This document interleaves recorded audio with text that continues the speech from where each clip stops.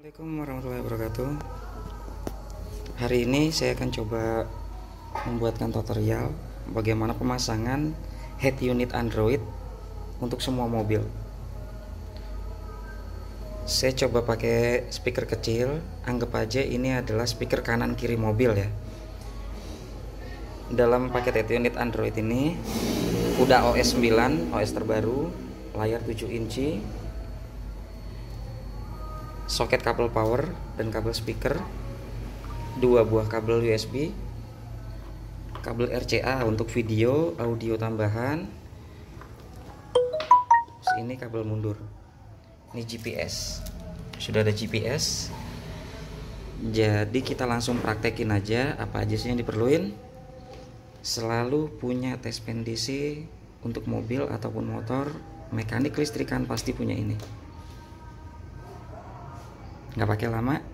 Yang belum subscribe jangan lupa di subscribe jika konten ini bermanfaat silahkan di share untuk menghargai para konten kreator. Dan buat yang mau beli setelah unboxing harga ini lebih murah karena sudah di unboxing barang tetap baru tapi hanya untuk dipakai unboxing saja ini. Dan praktek harga pastinya jauh di bawah pasarannya oke langsung dipraktekin aja. Pertama-tama kita kenali dulu warna-warna yang ada pada kabel head unit. Kuning ini biasanya adalah plus dari aki. Mau mobil nyala atau mati dia akan tetap menyala. Ya ini dia yang kita sambung yang merah kabel ACC jadi dia hanya nyala pada saat kontak diposisikan ke ACC kalau dia mobil diposisikan off dia akan ikut mati. Hitam sudah pasti ground. Bisa ditempelin ke body atau hitam juga pada mobil. Tapi pada kasus mobil-mobil tertentu uh, head unit kabelnya itu ada yang nggak pakai ground kita ambil contoh Nissan Livina. Jadi yang ini kita sambungin ke bodi mobil.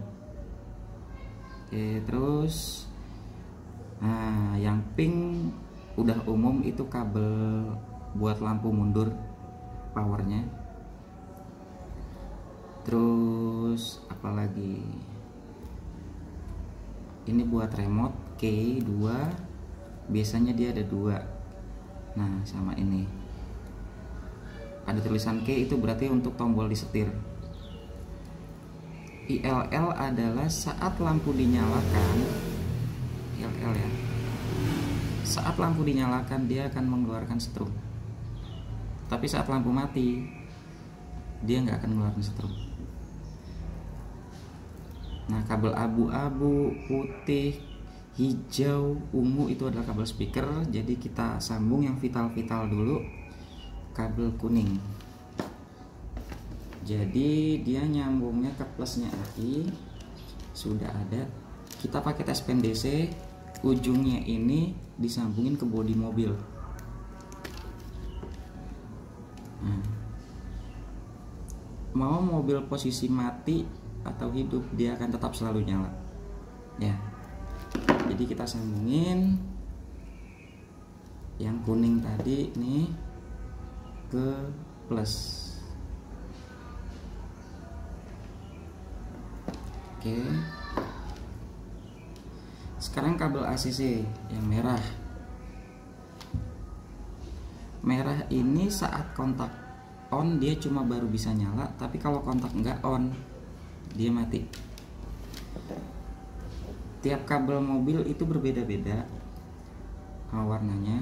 Tapi kalau untuk kabel head unit aftermarket itu udah pasti warnanya sama. Merah kuning hitam ungu gitu. ya yang hitam kita sambungin ke ground atau body.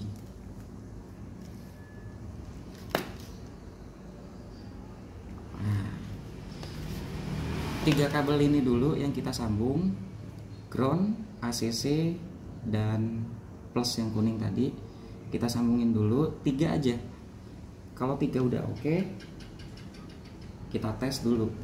Di sini dia nyala atau enggak? Colokin sini ya.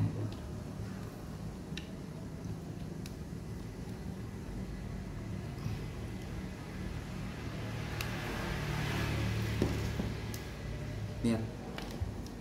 Udah nyala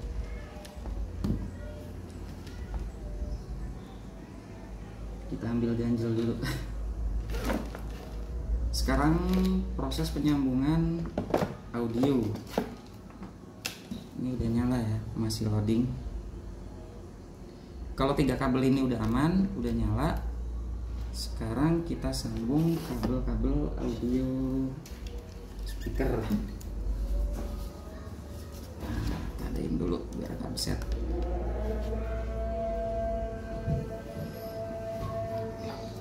di sini saya pakai sementara speaker kecil. Kita anggap dua speaker kecil ini adalah speaker pintu mobil.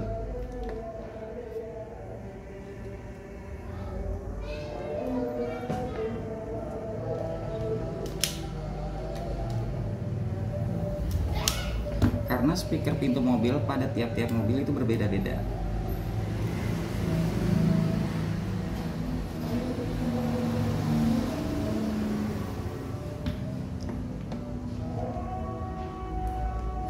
untuk speaker pintu depan mobil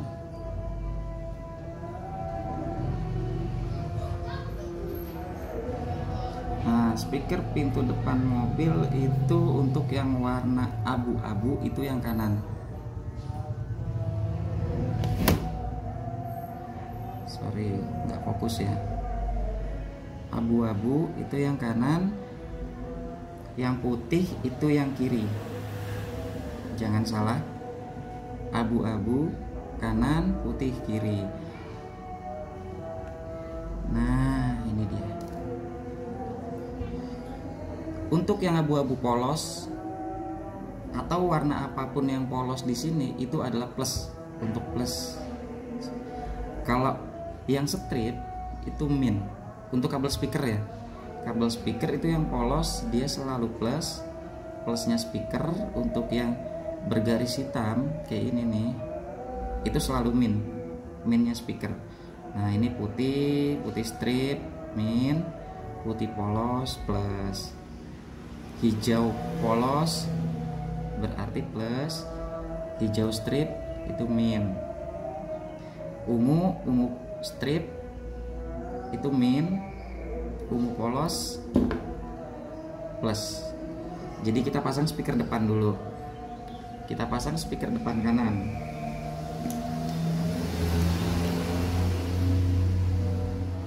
Sambungnya gini aja karena ini hanya untuk contoh.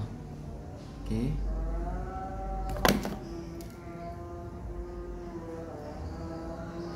Warna kabel stick speaker tiap mobil itu berbeda-beda dan cara mengetahuinya kita harus pakai baterai. Bisa ada yang pakai baterai ditusuk ke lubangnya itu bakalan tahu ini speaker sebelah mana.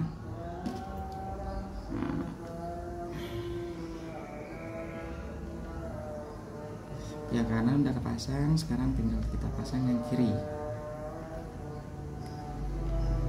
Min.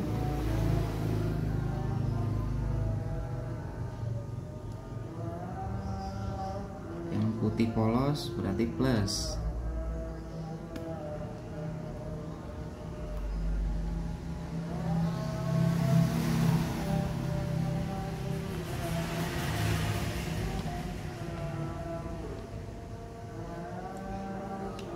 Oke. Sekarang kita setel musiknya.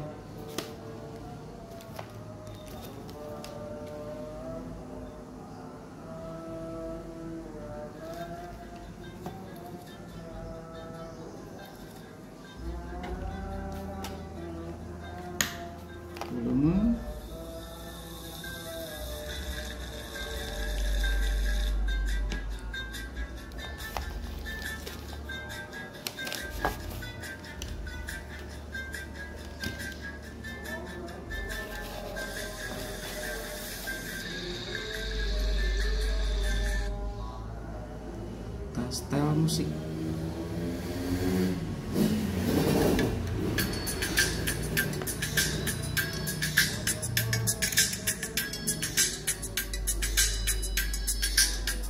Udah denger ya?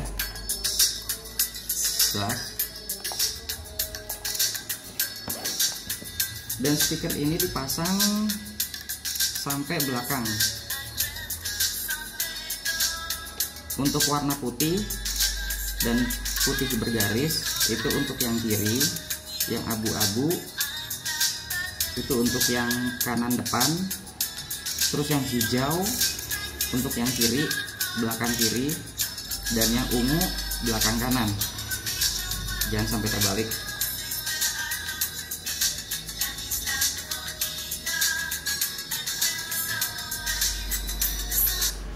Oke sudah selesai itu sampai belakang jangan sampai lupa warna-warnanya.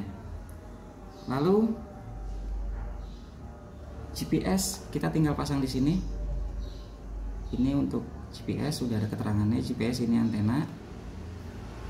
Dan ini kabel RCA untuk tambahan.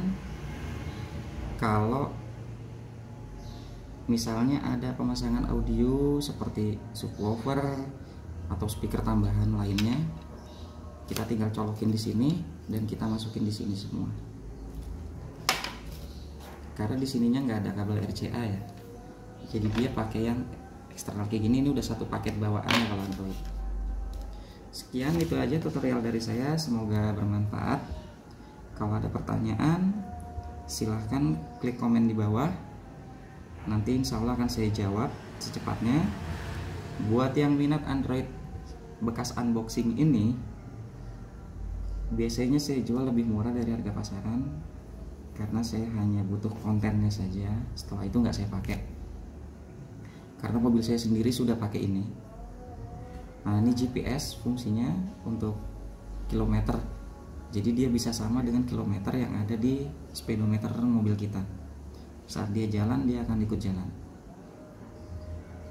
Di sini sudah ada Chrome, radio, musik, video, Bluetooth, map, Play Store, file, setting, Bluetooth musik, ada setting mobil, YouTube, banyak, ada mirror link juga bisa.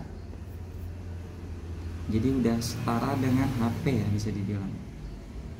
Oke sekian dari saya. Buat yang belum subscribe jangan lupa di subscribe bila konten ini bermanfaat silahkan di share dan mari kita hargai para konten kreator yang sudah membuat tutorial ataupun video-video lainnya